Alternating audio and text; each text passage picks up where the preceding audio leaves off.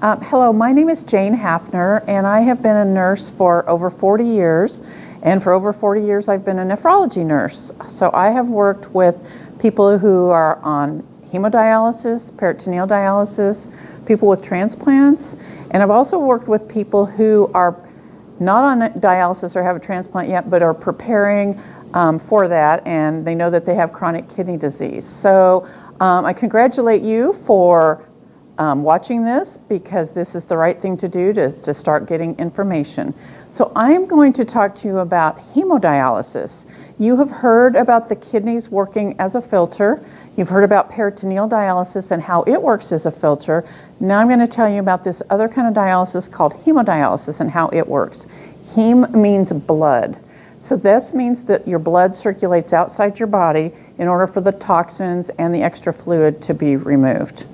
So the way that that works is um, there's a machine where your blood circulates outside your body through an artificial filter, which we call a dialyzer, or sometimes we call it a kidney, and that works as the filter since your kidneys aren't doing it.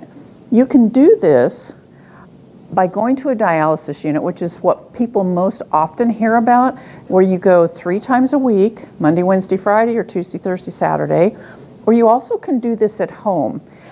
You can do this during the day for two, three, four hours, or you can also do it at night. You can, and you can do both of those at home or going to a dialysis center. Um, this therapy uses needles, and we'll talk about that a little bit um, more later. So, what does the hemodialysis actually do?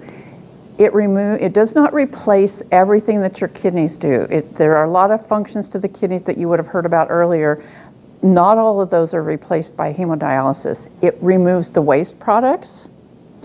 Um, when a person starts on dialysis, there are labs that they do monthly, and there's a calculation to figure out if it is cleaning your blood well enough. It's called a KT over V. You don't need to remember that now, but you'll hear about it later.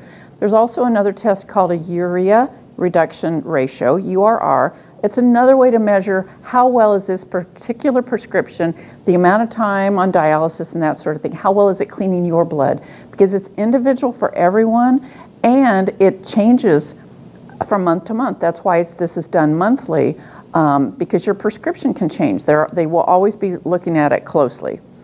The other part of this is that it removes fluid. So essentially, hemodialysis is taking care of what should be in your urine, the fluid and the waste products. So we'll talk more later about exactly what all happens a, during a dialysis treatment, but you weigh before and after a treatment so that that's how you can determine how much fluid needs to be removed, um, which is, would be like the urine that you normally would urinate. Um, and so we'll talk about that more. It's called a dry weight or an optimal weight. And that's something that gets evaluated every day, very, very frequently. So those are the two things that the hemodialysis does. Removes the toxins that are building up in your blood that your kidneys are not filtering and removes the extra fluid that your kidneys are not um, removing. So how well does that happen? That's a, that's a good question. Here is a, here's a, where I like to talk about supersizing. Supersize has gotten kind of a bad rap um, in the last few years, if you supersize your french fries or your drink or something like that, that's not a good thing. When you're looking at all this and you're, you're looking at your options, you want to think about how can I supersize dialysis treatments or supersize the removing of these poisons and fluid, but still have my life. So, healthy kidneys remove and clean, remove the fluid and clean blood 24 hours a day, seven days a week. That is 168 hours a week. If you go to a dialysis unit three times a week, that's usually between 9 and 12 hours a week. So hemodialysis three times a week for three to four hours each day removes only 10 to 15% of your body waste for each treatment. Earlier you heard about the, the stages of chronic kidney disease and when is it determined that you need dialysis? When you need dialysis is when you have about 10 to 15%. Um, and so that's about what you maintain with the three times a week dialysis. So in order to get more dialysis, get it longer or more frequent, there are a variety of ways to do that. One is you can go to a dialysis unit and do nocturnal, do it at night where you can get up to eight hours, or you can do it at home where you can do it more frequently and not just the three times a week. And so then you feel better. You remove the toxins more often. You don't have as much fluid to remove. And we'll talk about all that a little bit more later. So what you want, the, what you need to understand is if when you're doing dialysis, this is not a 24 hour, 24 seven day a week thing. So whatever your prescription is, you want to really try to stick to that. I always tell people, don't let anybody cheat you out of any dialysis time. I, I, sometimes people will say, oh, they cut me back to three hours and 45 minutes. I say, don't let them cut you back. You need every minute you possibly can get. Okay, so what do hemodialysis machines look like? Some of you maybe have seen someone in a dialysis unit. There are a variety of machines. Um, there's most of the machines that are in dialysis units are good size. They're the size of a small refrigerator, um, and they have a water system that goes with them that purifies the water before it gets to the, to the machine. You can use machines that size at home also. More people use a machine at home that is smaller. It's a, it weighs about 70 pounds and it's about the size of a old-fashioned 13-inch um, TV. Um, and so that's, a that's smaller and um, more portable. So what are the parts of a dialysis machine? You can go and visit at different dialysis units and there will be different machines in different dialysis units. There are a variety of companies that make different machines, but they all do the same thing in, in the end. There will be different paraphernalia, there's different pumps, they do different things. They might look differently, but they all do the same thing. What happens is they get access to your blood, and we'll talk about that in more detail later, but blood comes out of your arm goes through some pumps, goes through an artificial filter, which this is an example of what one can look like. So this is the artificial um, filter, the dialyzer, and then it returns um, back to you. So at, at any given time, there is a cup of blood, not even a cup of blood usually, circulating outside your body going through this filter. And um, that the filter is where everything happens. So like I said, the machines can look different. They will have different pumps, different paraphernalia. All the work happens in this artificial um, dialyzer. This is where the toxins and the extra fluid are removed and go down the drain. So you've got, you have a pump with your blood circulating through the filter. So during your dialysis treatment, you have a, less than a cup of blood circulating outside your body. Dirty blood goes into the dialyzer, clean blood comes out and, and continues to go back in is the way that that works. So there are different monitors on the machine. They will monitor pressures of different things. If you know something's plugged up or clotted or anything like that, there there will be alarms. So in a dialysis unit, you hear a lot of different beeps and alarms and that sort of thing. So how does a dialyzer work? So I showed you what this was here. Inside of a dialyzer, and there are different sizes of these, this shows you the inside of one that's been cut open. But what it is, is there are thousands of little hair-like fat fibers in there. What happens is the blood comes in, the dirty blood comes, comes in, goes in there and goes inside of those little tiny hair-like fibers. They are so tiny, but the red blood will go inside of those fibers. So the blood is coming, dirty blood is coming inside the fibers, clean blood will be coming out. So you're the blood will be circulating that way. Then what happens is a solution. You heard with the peritoneal dialysis the, about the solution that you put into your peritoneum and it pulls the poisons and the extra fluid out and then it goes down the drain. The very same type of fluid is used here. It's a fluid that does not have creatinine, does not have urea, does not have all those toxins in it that, that are building up in your blood. So the blood is going one direction inside these fibers the dialysate or that solution, is going the other directions and is on the outside of these fibers. So very often you'll hear it called a bath. What kind of bath are you, you on? You'll hear in a dialysis unit, what potassium bath are you on? That sort of thing. It's because these little fibers are being bathed in that solution. So the dirty blood's going this way, the clean solution is going this way. And in here, it is pulling through osmosis and diffusion, it's pulling those toxins and extra fluid out of your blood, and that goes down the drain then. So that is how that is working. So it's if you think about um, a tea bag, if you have a tea bag and you put it in water. If you think of the tea as the poisons inside of that blood, and you think of the bag, the tea bag, as all these little fibers, when you put tea in water, because there isn't tea in the water, the tea gets pulled out. And then at, when you get to the point where there's no more, uh, when it's equal, then, then it doesn't pull any more tea out. So that's kind of what's happening inside here, is it's pulling those toxins that are building up in your blood so that they can go down the drain. So here's a big question. How do we get access to your blood in order to have your blood circulate through this filter? And this is, this is a key, this is a big discussion here. So, and we'll get into a lot more details about it right now. You go to a surgeon, a vascular surgeon, and they create what we call an access because we have to have access to your blood. We need one place for the blood to come out, the other place for the blood to return to. Where it comes out, we call it arterial. Where it returns, we call it venous, but it is all the same blood. So there are three different kinds of accesses. One is a fistula, and that is that's what's the preferred access to have. The next one is a graft, and then there's also what we call a catheter, which or, or we like to consider those as temporary. So right now what I'd like to tell you is if you're in discussion with your nephrologist and you're determining that you're wanting to do hemodialysis when the time comes, if your if your if your nephrologist is recommending that you go see a vascular surgeon, I recommend you do it and I recommend you thank your nephrologist for being proactive for you.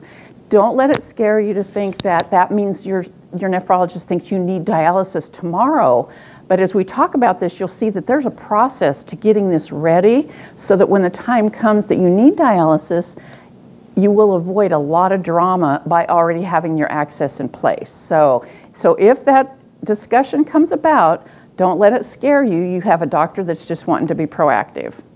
So, what is a fistula? A fistula is your own blood vessel.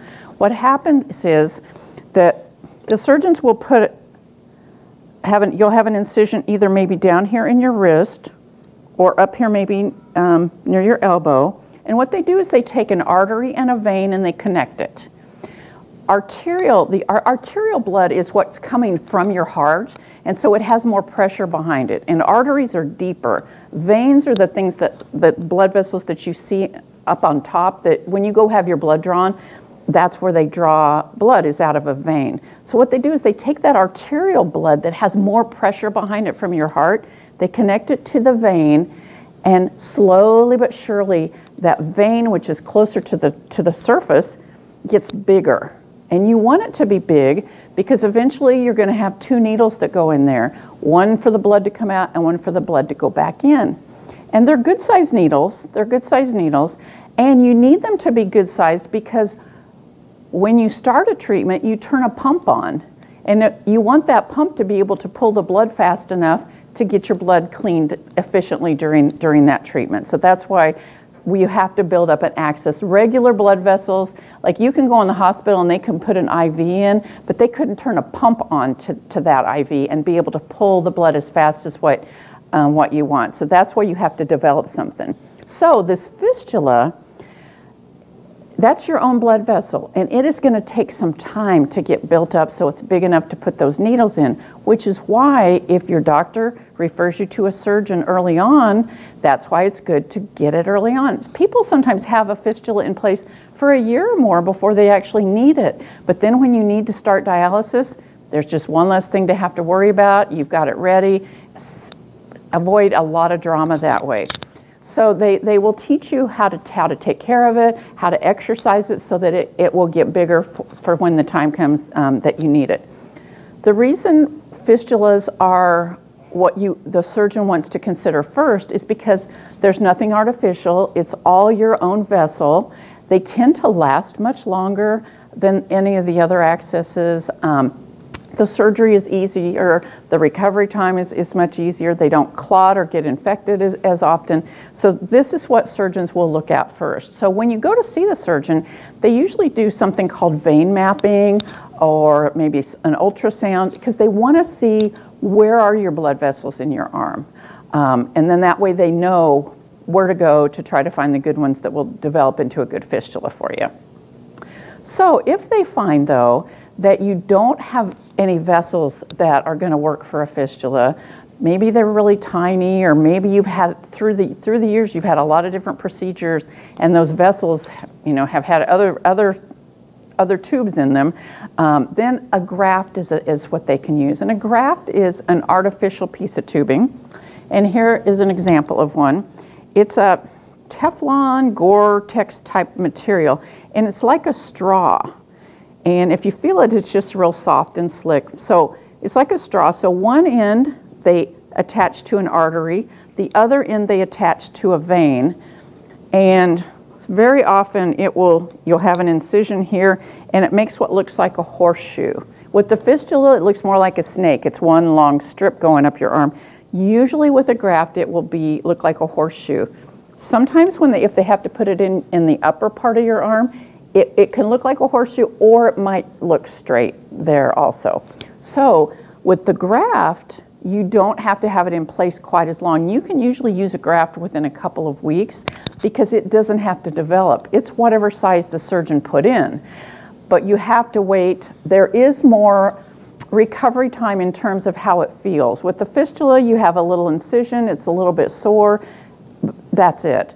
With the graft, there's a little more technique, a little, little more, they have to work in under the tissue a little bit more to, to get that tube in there.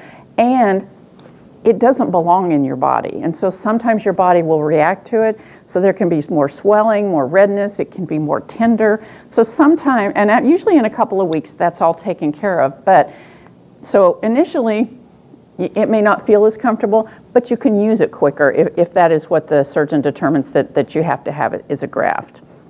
Okay? So we consider this to be the second best access. So what if something happens? I always like people to know, even though you're doing the right thing by getting this information, hopefully you'll be proactive and you'll have everything in place as it needs. Some things, sometimes things happen. Sometimes things happen and you suddenly need dialysis. I don't want you to think that, oh my gosh, I don't have a plan, I don't have any kind of an access. What, what would happen if I needed it suddenly? If you need dialysis suddenly, they can accomplish that within just a couple of hours if need be. Hopefully, hopefully the fact that you're getting this information, you're going to be able to avoid that. But the way that they can do it in a very quick manner is by putting in what they call a catheter. And this is an example of what one of those catheters look like. Now, remember I said we need a way to get the blood out to circulate through the through the filter and to be returned to you. So with a catheter what happens is they put this in usually in your chest, so it's coming out like this. And you've got caps on here that you take off.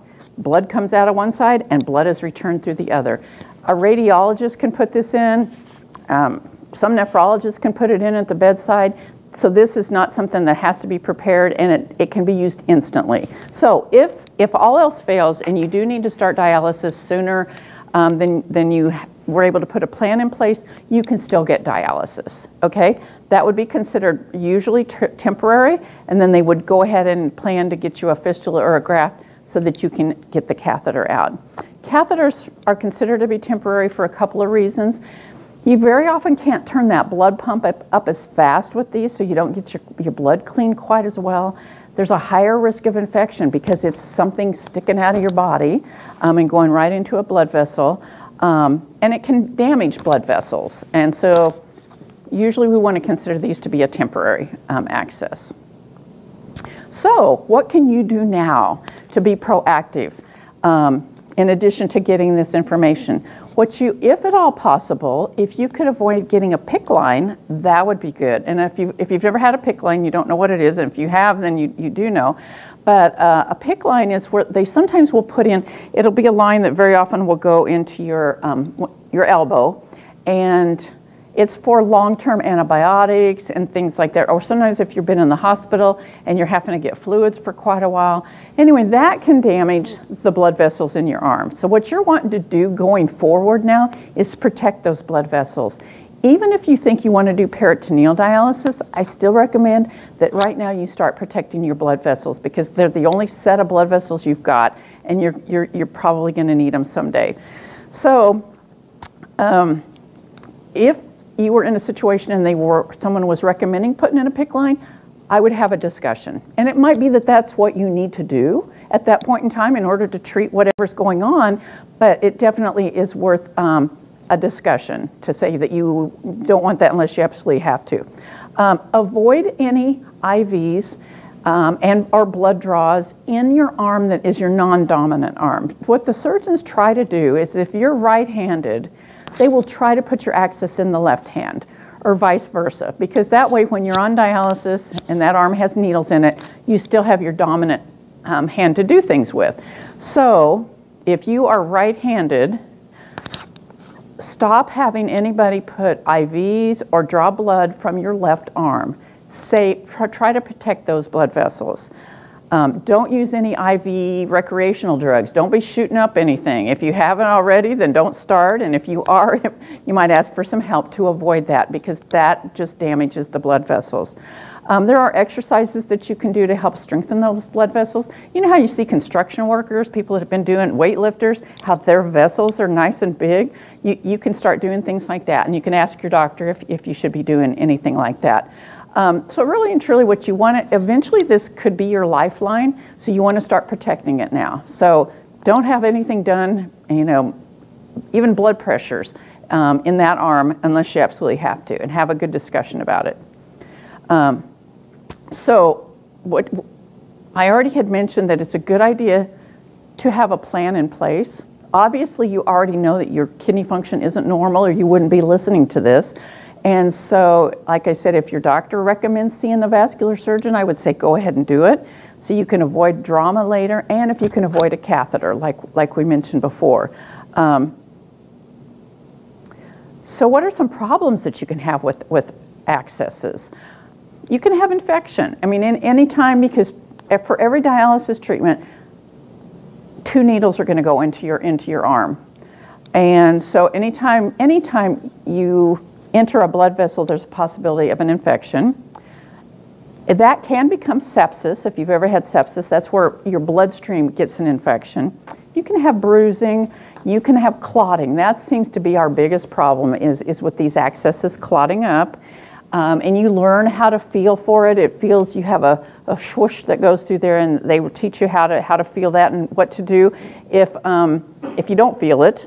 Um, you can have poor blood flow if you have little tiny vessels, or may sometimes the vessels can have narrow areas in them, um, and so that can give you not as efficient of a dialysis. Um, you can have an access that stops working and um, actually with hemodialysis, the biggest problem that we've had for 40 years, and, and it's kind of continuing, is, is problems with the access. Um, you can have aneurysms. Sometimes if you've ever met someone who's been on dialysis, it may look like a snake going up their arm and it might look like a very lumpy snake. Those are called aneurysms, those little, those little lumpy spots. Um, and so those are some of the problems that, that can occur with this. Now this is arterial blood, which the, this is the blood coming from, from your heart. So you want to be careful using power tools and things like that because if you were to cut this, it, it can bleed quickly. You learn though when, when they place these, they teach you what to do if, if any of these things happen. So what are some things that you would want to do to protect your access? Maybe by the time you're watching this, you already have an access in place. So some things you want to do is, is protect the blood flow going through there. So you don't want to sit around with your elbow bent. You don't want to sleep on that arm. You want to get in the habit of sleeping with it straight out. You don't want to wear a tight um, watch on there, a tight shirt. If you're a, a woman, uh, you don't want to carry a heavy bag on there for a long time. Like I said, don't let anybody take a blood pressure or draw blood or anything from that um, arm. It, and don't let anybody draw, uh, you know, come, just don't let anybody come near that arm unless they're a dialysis person and they know what to do. You, what else can you do to protect it? Um, only use it, only use it for dialysis. When you go to a, if you have to go to another lab to have blood drawn, it might be tempting to say, hey, go ahead and draw it out of this nice big vessel. Don't let them do it. They don't know how to stick a dialysis access. Don't let them do it. Um, you want to check it every day. Like I said, you will be taught to, to, what it should sound like, what it should feel like, and you will call immediately um, your clinic or your doctor if, if something doesn't feel or sound right. Report any infection. If it looks red, warm, has any kind of drainage or anything like that, you would want to call and get that addressed right away. You want to keep it clean, um, clean and dry. Um, when you're, when you're using it in the dialysis unit, there are a couple of different techniques uh, for putting those needles in. One is called a rope ladder, where you put you, the two needles are each time you go, they're moved up, up, up, um, so that you're not putting the needles in the same general area over and over. Um, another technique is called a buttonhole technique, which is where you, you do put the needle in exactly the same place over and over, and you develop kind of a, it's kind of like a pierced earring kind of track, where then you can put a blunt needle in there in the same place over and over. So your dialysis unit and the nurses that you work with will teach you the various things about that. Um, so now I'll tell you a little bit about what it's like to go to a dialysis unit and how, how it's scheduled. So most, a lot of dialysis is done at dialysis units. Um, there seems to be one on every corner in a lot of places anymore. It's become like CVS and Walgreens. There's, there's be across the street from each other. Usually it's three times a week, Monday, Wednesday, Friday, or Tuesday, Thursday, Saturday. Um, and then the time can vary. Also, dialysis units have nocturnal, which is usually three nights a week. Um, and that can vary. It might be Tuesday, Thursday, Sunday. It might be Monday, Wednesday, Friday um, for nocturnal. So if you decide you're going to do dialysis in a dialysis unit and it's, it's time to do it, your doctor would call and find out what the schedule is. Every dialysis unit is a little bit different with their schedule. Some start at four in the morning, start, some start at seven in the morning. Some are, you know, run three, four shifts a day. So some you could dialyze in the evening if you're working during the day. So you would just have to find out at the specific dialysis unit you're interested in um, what their schedule is like. And if it doesn't meet your needs, then you can ask about where's one that has evening dialysis um, or whatever. So here's what happens. You go to the dialysis unit. Let's say it's your schedule is Monday, Wednesday, Friday. It's Monday morning. You go to the dialysis unit. You will be in a waiting room with a group of people that you see every Monday, Wednesday, Friday morning. You get to know these people really well. You become each other's own friends and support group. You see them more often than you probably do most of your family. So they will have you wash your arm. They will have you stand on a scale to see what you weigh. The nurse or the technician will tell you, come on in, your machine is ready. So you'll go into the room where there are a variety of, um, it varies from clinic to clinic how many dialysis units are in there, or machines are in there. But there will be a recliner chair sitting next to a machine. Usually there's a TV that hangs off the wall that you um, can watch TV while you're in there. So, so you will weigh yourself, you will go over, the nurse or technician will check your blood pressure, your temperature, they'll listen to your lungs, they're gonna feel on your ankles, see if you have any swelling. They're going to calculate based on what you weigh. When you left dialysis on Friday, you would have weighed at the end of the treatment. So they, they subtract what you weigh today from what you weighed on Friday when you left, and then they know how much fluid your body retained over the weekend. Because when your kidneys are not working, I'm sure you heard this earlier, very often then you're not producing the urine. So everything you take in that's fluid stays in your body. So that's how we kind of know how much stayed in there. So you weigh yourself, you've washed your arm, they're going to put a blood pressure cuff on your arm that will stay on during the whole treatment. You'll get yourself all nestled into your chair. You'll have your blanket and your pillows and whatever else it is you need to get nestled in. They usually will have you put your feet up. They will ask you, has anything changed since the last time you were here? Have you been to the doctor or any medication changes or anything like that? And then um, I recommend that you learn how to put your own needles in.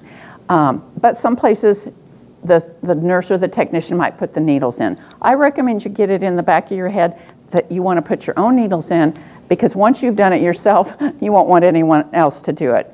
But anyway, so two needles get put in your arm.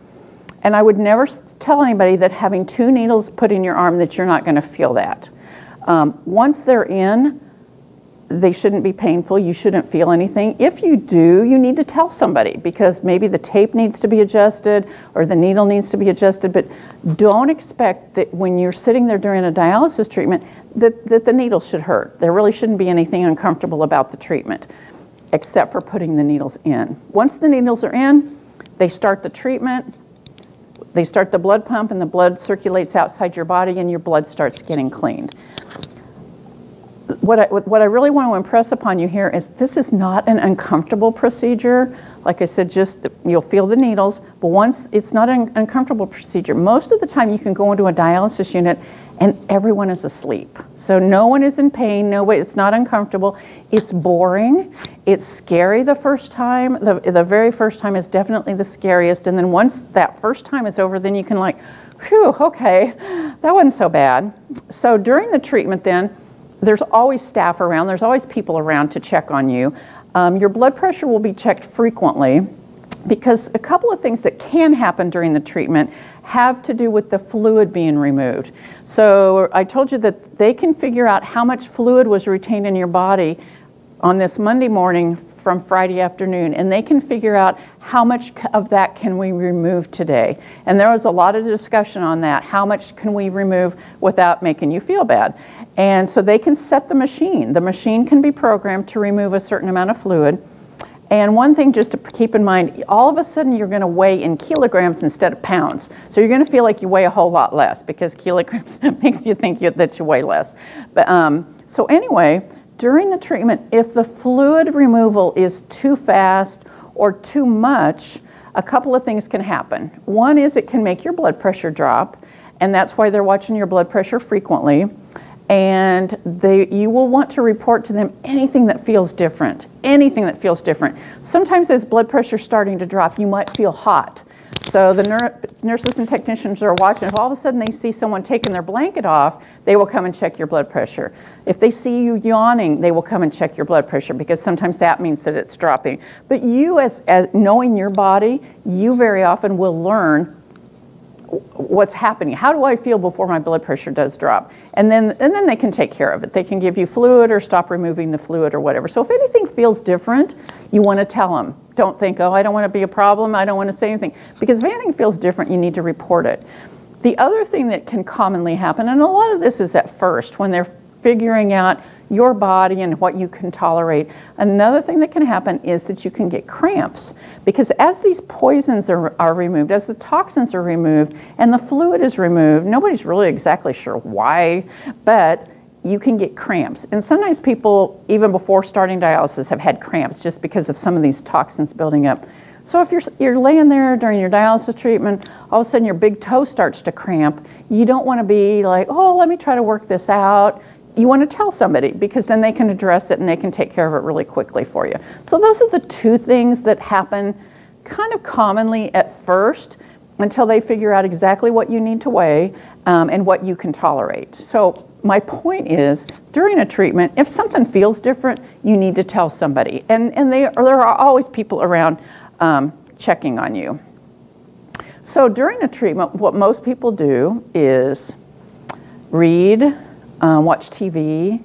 Um, now, people, most most clinics will have Wi-Fi, so you could bring in an iPad or you know play things on your phone, uh, do things like that. But honestly, most of the time when you go in, after people have been on for about an hour or so, people are asleep. So very very often that's what what people do to pass the time.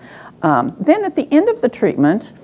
Um, whatever the doctor prescribed as far as time-wise. At the end of the treatment, then using a saline solution, which is like a salt solution, kind of like our tears, they will return the blood that is in the tubing so that you go home with, the, with as much blood as you came with. And then you do everything in reverse. They are going to, once they've returned your blood, they're going to check your blood pressure to make sure it's not too low. They will put your feet down, have you stand up, make sure that because you had that fluid removed during the treatment, sometimes it takes our bodies a while to recover um, and have our blood pressure be normal. At this point, right at the beginning, you also sometimes get rid of blood pressure pills. Very often the doctors will end up being able to take care of blood pressure pills because the dialysis is helping with the fluid. So they check your blood pressure, check your temperature again, you know, look at your ankles again. They, they remove the two needles and you put pressure, you hold pressure where those needles were for about 10 minutes. They bandage that up. Then you go and you weigh yourself again. So Now you find out how much fluid did they actually remove. They set the machine to remove a certain amount. Now you're going to weigh to confirm that that amount of fluid was removed. Then you go home. You come back on Wednesday and you do the same thing again. And then you come back on Friday and you do the same thing. It's like laundry. It's never done. You just keep back, you, and, and it's the same thing over and over. So after a couple of treatments, you, you get the routine and it, it is the same thing over and over.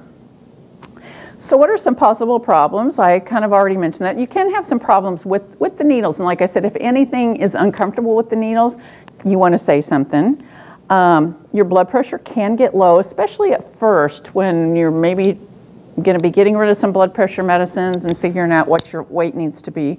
I mentioned cramps. Sometimes people will get a headache during dialysis. Um, you can have problems with your access. Um, maybe if the blood flow is not good and that sort of thing. Um, then, so that's going to, it. that's what is going to in-center dialysis. So there are dialysis units that have what is self-care, where you go and you are in the clinic, but you set up the machine or you put in your own needles and you run your treatment. Um, you have more control over what's going on with your treatment and that sort of thing. So some clinics will have a self-care area where you can do that sort of thing. And like remember I mentioned earlier, I recommend if at all possible, you learn how to put your own needles in um, because your, your access will just um, last longer and you'll be happier if, if you do it that way.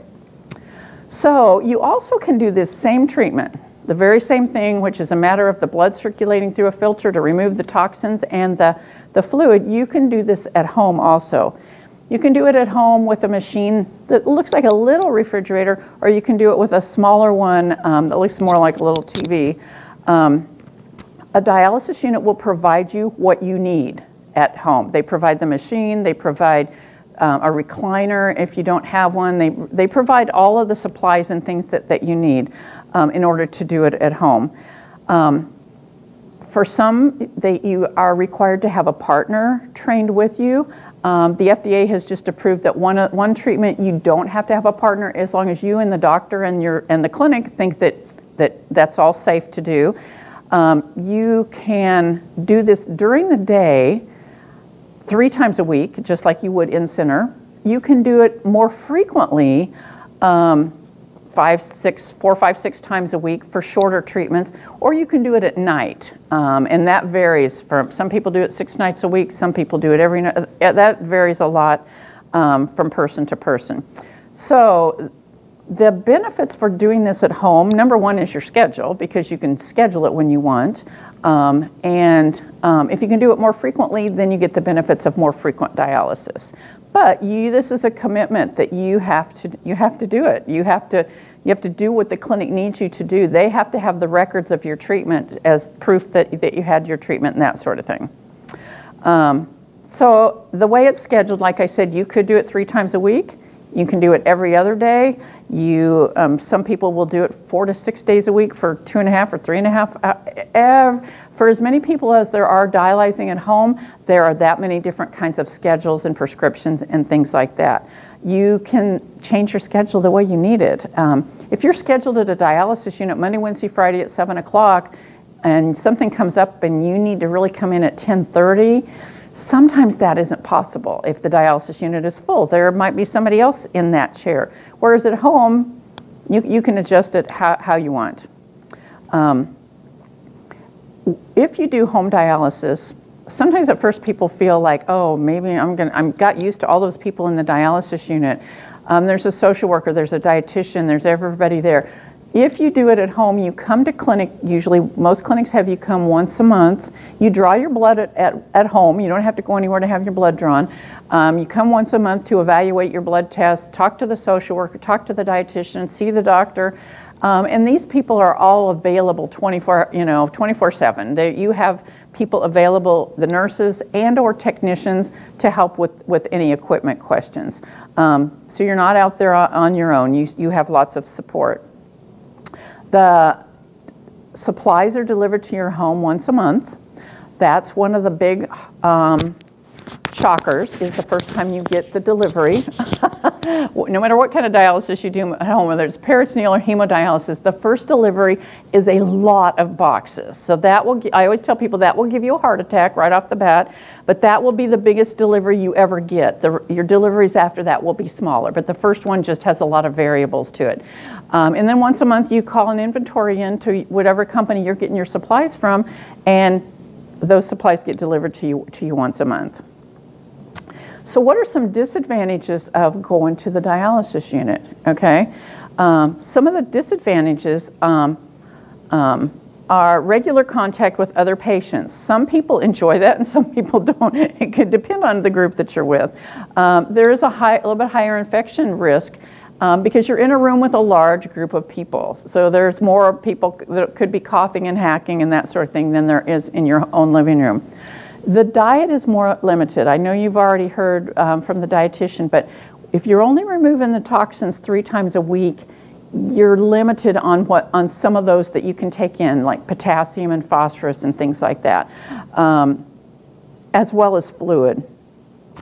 Uh, you have less control and you're more dependent on the staff. So that depends on what kind of person you are. Some people really need con more control of their situation. Sometimes it, when something like this has happened, you feel like you've lost control. And so if you're in center and you feel like you don't have much control, that can, that can be hard. Um, some people like that. They don't want any control over it, and they're happy to me to let the staff do things. So it, very, it depends on, on how you feel about it. There are a lot more rules to follow because you're in a group in a room with a large group of people, there's a lot more rules about the visitors and what can you have food or drink when you're in there on the dialysis, that sort of thing. Depending on where you live, the time and the cost to travel to a clinic can be an issue.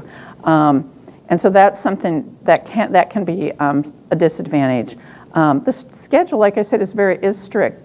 Dialysis units will try to work with you, though. If you need to be change your schedule for something, they really will try to work with you, but sometimes it's just not possible. Um, there, I'm sure you already heard from the social worker, but there is a three-month wait um, if you don't already have Medicare. Um, if you go, if you do in-center dialysis, if you do home dialysis of any sort, the Medicare will start the month that you started. Um, and one of the things with in-center dialysis is you always have two days off between treatments, like Saturday and Sunday or Sunday and Monday. And anytime that there's two days off, that is harder on your body. Um, there's a higher risk of ending up in the hospital with and things like that. So that two-day gap um, is, a dis, is a definite disadvantage. So what are some advantages of going to the dialysis unit? Like I said, one of the disadvantages could be that regular contact with all those people. That can also be an advantage. And very often that group of people you get close to and you get to know them really well. There are there's staff there to monitor you. There's staff there to take care of you. You have four days that um, you don't have to go. That can be an advantage. You don't have any machines or any supplies in your home. Um, and you, you, still might be able to do nocturnal if your dialysis unit has that. Um, and you don't have to ask anyone for help or to be your partner um, or that sort of thing. So what are some disadvantages of doing this at home? You have it at your home. you need space for the machine and the supplies. Um, and it's a reminder, it's a constant reminder that you are on dialysis and that you this, this is part of your life. Um, it takes time to learn it. Um, your training can take anywhere from three to five to six weeks. Um, and so sometimes that can be difficult to just schedule that, especially if you're working. Um, some clinics require a helper, trained helper, so sometimes that's hard to get someone to commit to, to, to being there with you. That doesn't mean they have to do anything. Sometimes the partner does a lot. Sometimes the partner is only there to call if you need help. Um, that can really vary. Um, some of the machines, you might need to do some plumbing to um, accommodate the water that's needed for the machine. Um, some of the machines don't need any plumbing um, um, changes in, in, your home, and so that would vary um, from whatever uh, equipment you decided to use. Medicare doesn't cover that sort of thing. And Medicare, if you do home dialysis, will start right away. Sometimes it only pays for three times a week, and then the dialysis unit has to justify why you need um, the other treatments. Uh, one of the other advantages to more frequent dialysis, regardless of what it is, is that um, when you do the in-center dialysis, I didn't mention that very often it takes you several hours to recover after a treatment until you feel like you're back to normal. And if you do it more frequently, the recovery time is only like an hour. And people that do it at night, nocturnally, don't really have any recovery time at all. So that's also something to think about. Um, so what are some of the advantages of home dialysis? You're in your home. You're in your own home. Uh, I saw a video the other day of a man, and he had there was a baby sitting next to him while he was having his treatment. The baby was in a high chair, and he was just playing and giggling with the baby. So you can't do that in the dialysis unit. So you are in your own home. Um, you have more control. You are, have more independence. You you tend to learn more about your treatment if, if you're in charge of it. You don't have to wait for the Medicare. Um, you can have fewer access problems, but even if you're in center, if you will put your own needles in, that will help you have fewer access problems. The more people that are putting needles in your arm, the more chances you have of there being issues. So that can, that can be taken care of by you just putting in your own needles. A more flexible schedule. Sometimes you want to dialyze at midnight, sometimes you want to dialyze at 9 in the morning. That, does, that isn't going to work at the dialysis unit, but at, at home it can. Your body doesn't care if it's noon or midnight when the toxins are being removed. Um, less travel to and from the clinic. So depending on how far you are or what your transportation situation is, um, or if it's blizzarding outside, if it's blizzarding outside, you can just be snuggled in, having your treatment, and not have to worry about those roads. So this can help you work and go to school because, again, you can adjust your schedule. There are fewer rules. You can have something to eat, you can have visitors, you can have a baby in a high chair next to you, um, and you can do just about any kind of schedule that you and your doctor figure out. You can do nocturnal, you can do it daily, you can do um, it however, however works best for you and, and your doctor um, prescribing it. Um, the diet is more liberal. Because if you are getting rid of the toxins and the fluid more frequently, more days of the week, then you can eat and drink more. So your diet is not nearly as restricted. Um, and if you, if you want decide to do it at, at night at home, then you've got the whole rest of the day. Not only do you get more dialysis and feel good, you've got the rest of your day to do whatever it is you need to be doing. So with more frequent dialysis, whether it's hemodialysis or peritoneal dialysis, the more time you spend removing toxins rather than them building up, you will feel better and live longer. And like I said, this is one time where supersizing is a good thing to think about because if you can supersize it and still have your life, then that's a good way to look at it. So you can still live a good life with hemodialysis. It's obviously not anything anybody hopes to ever have to do, but it, it's definitely doable. There's a variety of options. There are so many options right now that weren't available 10 years ago um, that you have a lot more um, things to think about.